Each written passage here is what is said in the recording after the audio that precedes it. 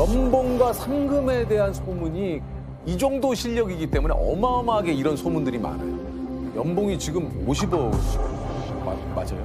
아, 제 연봉이 얼마인지는 공개할 수가 없어가지고 기사에서는 그냥 국내 스포츠 선수 중에 가장 탑급이라고 아. 말씀을 하시더라고요. 요게 50억이 연봉이라는 것이 아니고 추정치가 이 정도지 않을까. 그러니까 저도 그 얘기를 들었거든요. 뭐 이제 그 어, 어떤 한 곳에서 팀에 와주면 백지 수표. 그러니까 본인이 원한 대로 주겠다. 지금 이게 뭐 몇십억, 몇백억 하면 아 그게 뭐 말이 되냐 이렇게 생각하실 수도 있는데 지금 중국에서는 진짜 막 100억 넘는 선수도 있고 연봉이. 네 실제로 그런 선수들이 많아요. 이정용 이정용만 지금 100억이 넘고 페이커 씨도 중국에서 이렇게 좀 연락이 오거나 이러지 않았습니까? 중국이나 뭐 외국에서도 러브콜이 많이 왔었는데. 끝나면은 네, 많이 왔었는데 네, 근데요. 사실 저는 한국에 남는 게 뭐 좀 특별히 좀 그런 이유가 있습니까?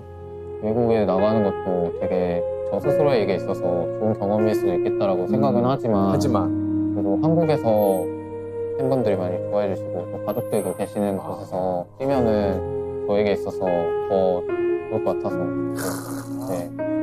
아니 근데 올 초에 또 재계약을 하셨어요. 아 네네 그쵸 아, 그럼 이게 또 연봉이 또 오른 겁니까?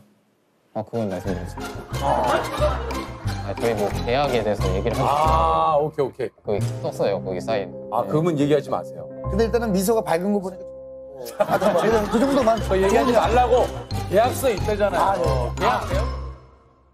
저 잘립니다 아 그래요? 네. 어. 아니 좀 이렇게 어, 상금을 받으면 주로 어디에 이렇게 쓰시나요? 저는 거의 돈은 많이 안 쓰는 편이에요 그냥 아 그래요? 네. 쓰고 싶은 곳이 없어가지고 아니 그 왜 왜 뭐 각자 취미 생활도 또 있을 수 있고 뭐 이제 뭐 약간 패션에 좀 관심 있으면 뭐 네. 패션 아, 저는 패션에는 전혀 돈을 안 써가지고 어? 아니던데 보니까 그 저기 GD 그 special edition 그, 아 그거는 근데 선물 받았어요 그 신발 이거 이거 신발끈에 제가 김치 국물을 쏟아버려가지고 아 취한 게 아 그래서 이게 저 팬 여러분들이 요걸 김치국물 edition이라고. 이거 맞죠? 김치찌개. 지금까지 살면서 가장 많이 돈을 써, 큰 돈을 써본 건 언제? 집 샀을 때? 아 집 샀을 때. 지금 진짜 큰 돈 써야지